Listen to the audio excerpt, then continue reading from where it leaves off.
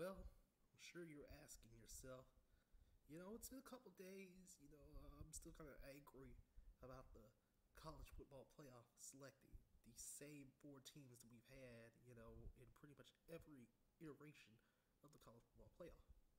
Well, I mean, my solution is not really original or anything, but hey, we can try. We can try, okay? Okay? Now, here's the first proposal. Do we go to eight? That is the first question. And of course, we're probably going to expand to eight teams after the first contract ends during the 25, 2025 2026 season.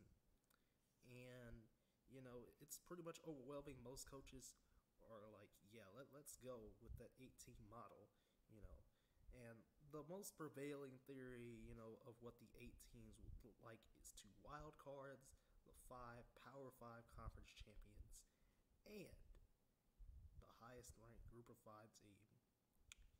And you know, yeah, that that is really that is really the one of the one of the best ways we can you know come up with it.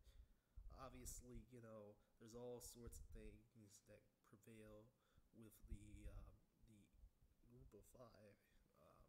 Use that term very loosely. Again, I don't really like using that term, but I mean, it just is what it is, and you know, it's whatever. Um, but honestly, you know, we could just consider, we could just you know flip flop the Pac-12 and the American each and every year, and sometimes the Big 12 too, because those three conferences are kind of like right there, you know, behind the other three. They're they they are clearly behind the the other three: the SEC, the ACC, and the Big Ten.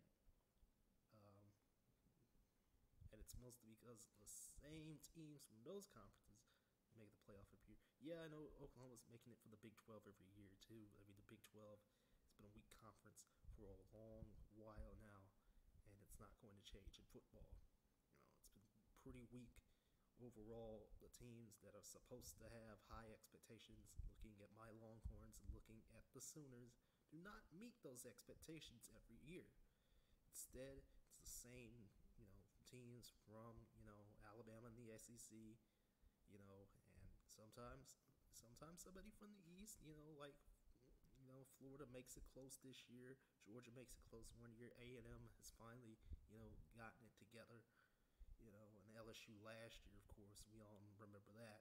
And then the ACC has been Clemson dominated, you know, ever since Florida State fell off. And the Big Ten is Ohio State. That's pretty much it. Uh, but the notion that, you know, that most conferences, that most non-power five conferences are have you know teams that are perceived to be weaker is usually just because of bias. Really that's really all there is to it. It's bias. The Big Ten terrible this year, absolutely terrible. And you want to tell me that Ohio State is one of the best four teams? I mean, it, it's clear that they are, but you know, the Big Ten was terrible. How many SEC teams are supposed to be going to bowls? By the way, Army is going to the Liberty Bowl now. I don't know about the Gasparilla Bowl. I don't know what in the world's going to happen to UAB. Hopefully, they get to play Missouri, and I think it's the Music City Bowl. Um, but you know, whatever. Not that's not really the concern right now. But you have this perception of you know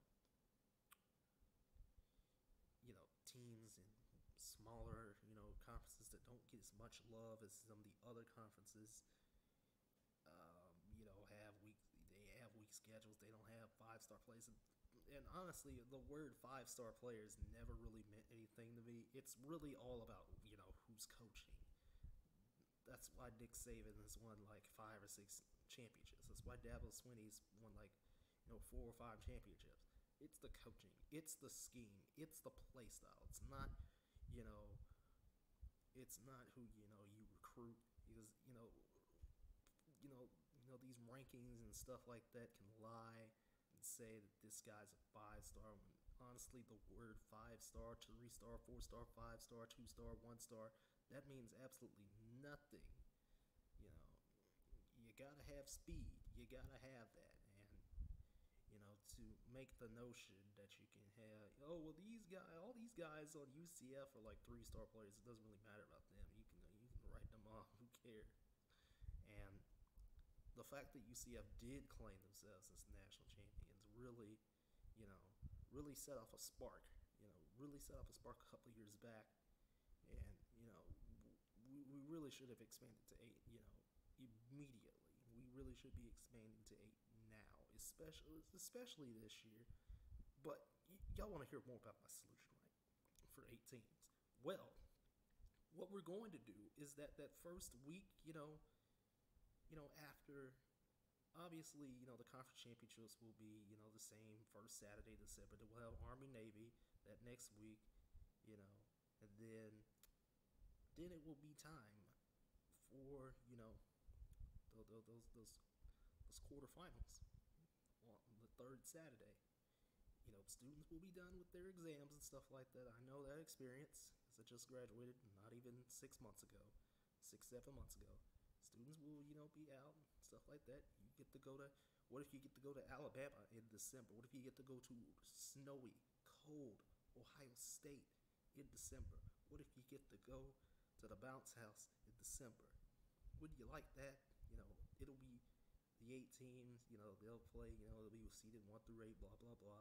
What if you get to go to USC on the West Coast during, you know, that time? So that third Saturday in December, you know, that would be great. That would be great, you know, for those eight teams. And then, you know, forget about the New Year's Six. We can completely forget about that. You know, just put the top teams, you know, that aren't in the playoffs in the New Year's Six bowls and stuff like that. You know, the rest of the top 25, you know.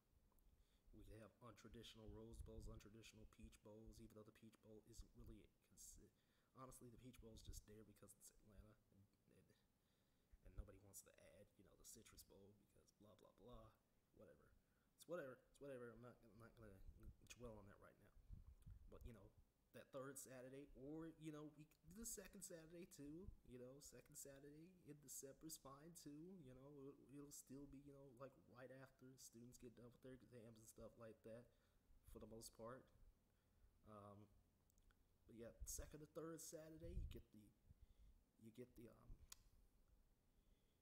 you get the quarterfinals, you get the semifinals, as it's been, you know, January 1st or somewhere around that time, January 2nd, maybe, you know, it depends on what day it is, but usually January 1st, and then the national championship, you know, it, you know, it, could be, you know, on a, um, could be the same time as usual, you know, that, that usual Monday, you know, before the semester starts and stuff like that.